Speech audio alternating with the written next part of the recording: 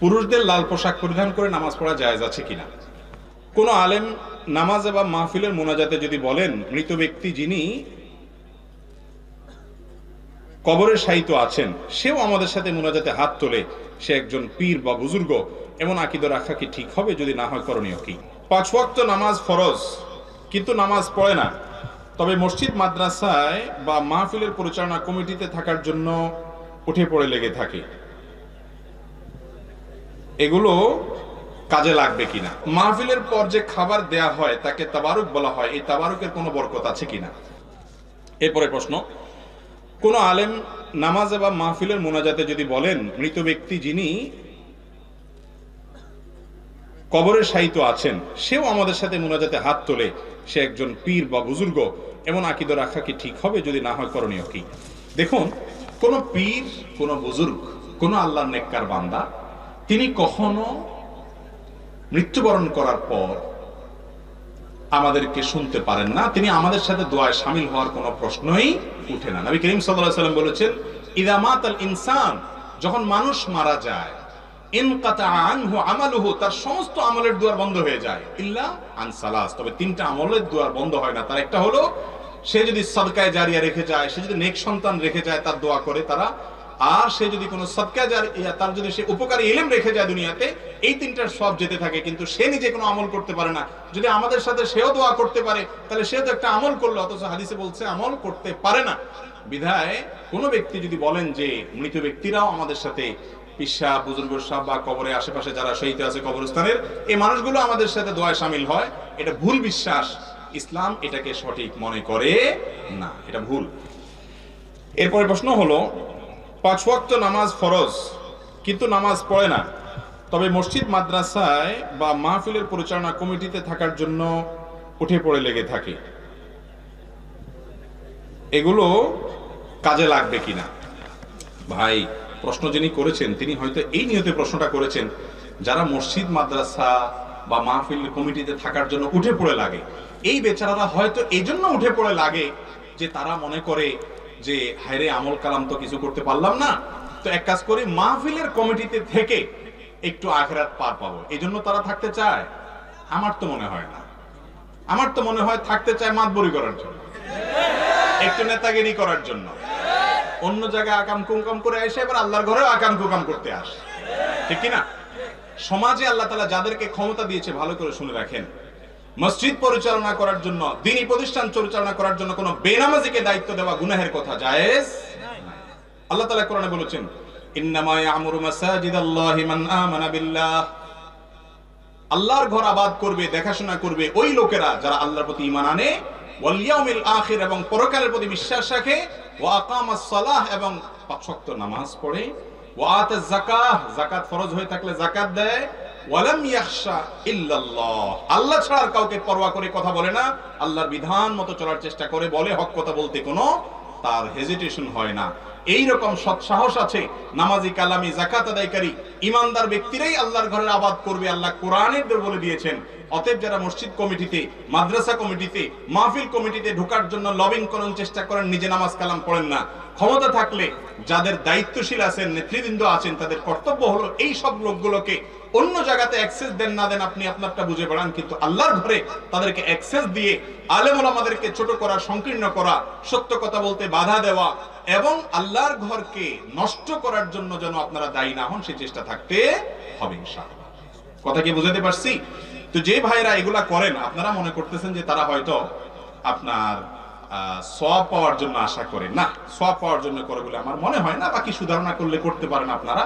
কেউ কেউ করতেও পারে, কিন্তু বেশিরভাগ লোক, আমার যেটা ধারণা সেটা হলো, তারা এগুলা করে থাকে কিসের জন্য? সর্দারি মাতবরি করার জন্য। আর জায়গা পায় না, আল্লাহর করে এসে মাতবরি করতে আসে।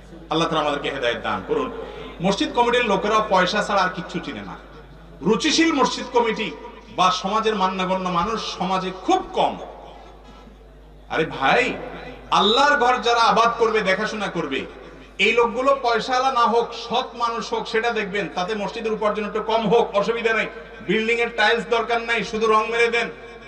আপনার মসজিদটা, বাহ্যিক গেট আপ সেট একটু কম হোক, কিন্তু কিছু ভালো মানুষ থাকুক, তাহলে ইনশাল্লাহ এই মসজিদ থেকে মানুষের হেদায়ত হবে। আর এর বিপরীতে যদি আপনি চাকচিক্য বাড়ান, আর একেবারে স্বর্ণ দিয়ে মসজিদ বানায় রাখেন, কিন্তু মুসল্লি কমিটি সব উল্টা পাল্টা তাহলে এই মসজিদের কোনো অর্থ হয় না। আল্লাহ আমাদেরকে বুঝার তৌফিক দান করুন। এরপরের প্রশ্ন হলো, মাহফিলের পর যে খাবার দেয়া হয়, তাকে তাবারুক বলা হয়, এই তাবারুকের কোনো বরকত আছে কিনা?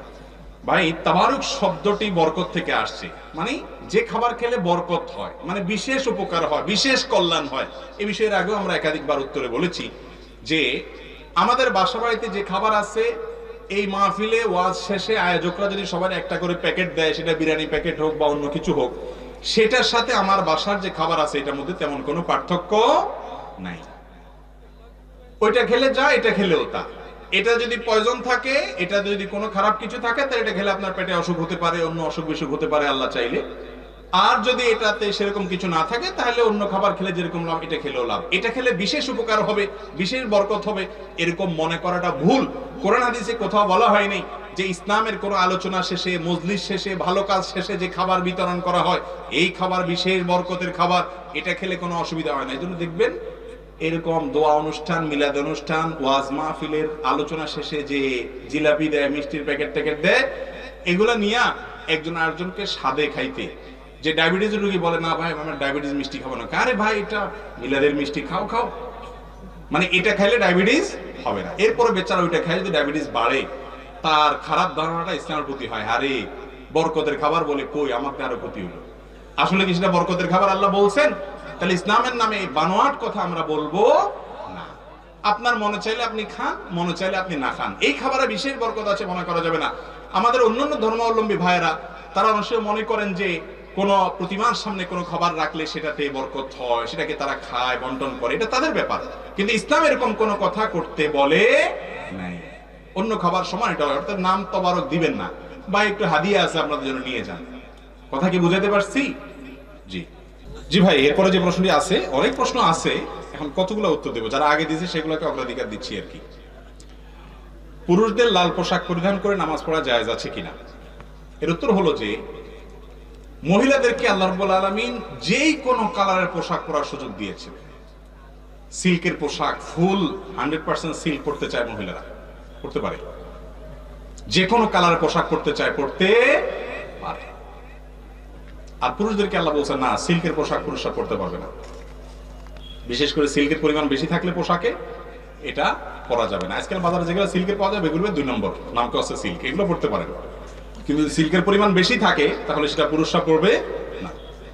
আর পুরুষদের জন্য সাদা পোশাক পরাটা অধিকতর উত্তম এবং মুস্তাহাব। এই ব্যাপারে কোনো ইখতিলাফ নেই আমাদের মধ্যে। নবী করিম সাল্লাল্লাহু আলাইহি হাদিসের ফজিলত আসছে।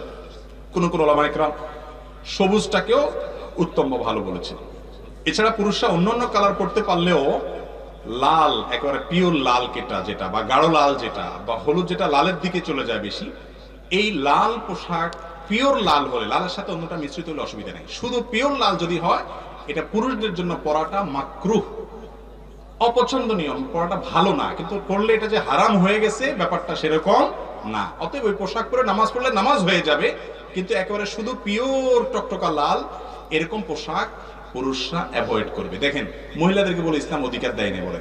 মহিলাদেরকে বলছে যে কোনো কালার মনে চায় পরো, যত মনে চায় সাজার পুরুষরা বলছে, এটা পারবা এটা পারবা না। এই জায়গায় মহিলাদেরকে বেশি দিছে না, কম দিছে ইসলাম। তাহলে আপনি যখন দেখবেন বিভিন্ন জায়গায় ইসলাম কীভাবে মহিলাদেরকে অধিকার দিছে কোরআনে কারিমে একটা সূরা আছে, নাম হলো সূরায়ে নিসা। বিশাল বড় সূরা। সুরায় রেজাল বা পুরুষের নামে কোনো সুরা কোরআনে কিন্তু নাই। হাদিসে আসছে, দুইজন মেয়ে যদি কেউ লালন পালন করে সঠিকভাবে এই ব্যক্তিকে আল্লাহ তালা জান্নাত দিবেন। নবী আলাইহি তার জান্নাতের গ্যারান্টি দিয়েছেন অথচ দুই ডজন বা হাফ ডজন ছেলে সন্তান জন্ম দিয়ে লালন পালন করলেও তার জান্নাতার বারান্দা বন্ধ যাওয়ার সুযোগ দিবে এরকম কোনো কথাও হাদিসে আসে নাই। এরপরে বলে মহিলাদেরকে ইসলাম অধিকার দেয় না, বঞ্চিত করছে।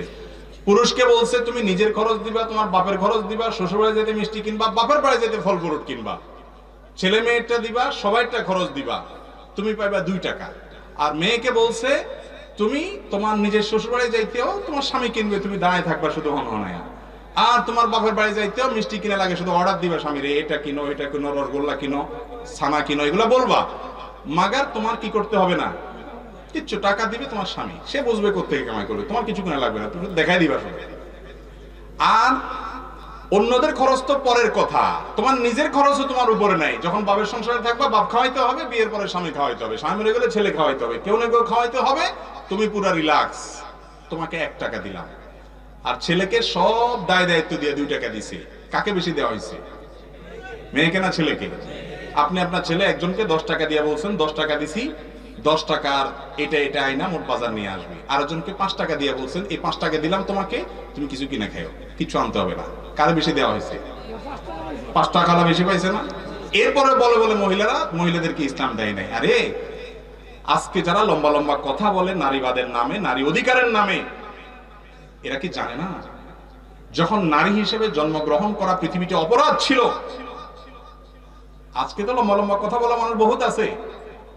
নিজের বাপ যখন নিজের কন্যা সন্তানকে জীবন্ত কবরস্থ করত, সেই অসভ্য সমাজ ব্যবস্থাকে ভেঙে চুরমার করে নারী জন্ম দেওয়ার কারণে, নারীকে সঠিকভাবে লালন পালন, মেয়েকে সঠিকভাবে লালন পালনের কারণে জান্নাতের গ্যারান্টি দিয়ে নবী করিম সাল্লাহ সাল্লাম মেয়েদের মর্যাদা দিয়েছেন, হাজারো মর্যাদার বর্ণনা করেছেন। এবং তিনি বলেছেন, আমি মেয়েদেরকে ভালোবাসি, ছেলেদের তুলনায় বেশি। ইসলাম কোথায় তুলেছে নারীকে? সেখানে কিছু সুবিধাবাদী মানুষ অথবা কিছু বিভ্রান্ত মানুষ আমাদের মা বোনদেরকে ভুল বুঝে, আমাদেরকে ভুল বোঝায়। ইসলাম ছাড়া প্রকৃত শান্তি এবং কল্যাণের কোনো পথ আল্লাহ তালা খোলা রাখেন বিধায় এই সমস্ত ভুল ধারণা এবং ভ্রান্তি থেকে আমাদেরকে বেরিয়ে আসতে হবে এবং নারীদেরকে যে ইসলামকে অধিকার দিতে বুঝতে হবে, যে পোশাকের কথা বলতে গিয়ে কথা আসলো, যে পোশাকের ক্ষেত্রে দেখেন পুরুষকে আল্লাহ তালা রেস্ট্রিকশন দিয়েছেন, মেয়েকে বলছেন তোমার বাবা লাল বলতে চায় পরো, হলুদ পড়তে চায় পরো কোনটা পড়তে চায় সেটা পড়ো। কোনো কালার রেস্ট্রিকশন তোমার নাই। তাদেরকে আল্লাহ তালা তুলনামূলক ভাবে বেশি এক্ষেত্রে ছাড় দিয়েছেন না, দেন নাই? কারণ এটা তাদের দরকার আছে। মহিলারা একটু সাজুগুজু প্রবণ। একটু সাজুগুজু প্রবণ, সাজগোজ করতে পছন্দ করে। পুরুষে আল্লাহ তালা বলছে, তুমি একটা কাজ কাম করবি, পড়ালেখা করবি, তোর অনেক কাজ কাম আছে বাইরে, ব্যবসা বাণিজ্য করবি, ধান্দা করবি, এই সমস্ত সাজগোজ নিয়ে পড়ে থাকলে হবে কেমন? তাহলে আল্লাহ তালা যার জন্য যেটা দরকার তাকে সেটা দিয়েছেন, কারোর প্রতি জুলুম আল্লাহ তালা করেন নাই। আল্লাহ চেয়ে বড় সুবিচারক আর কেউ হতে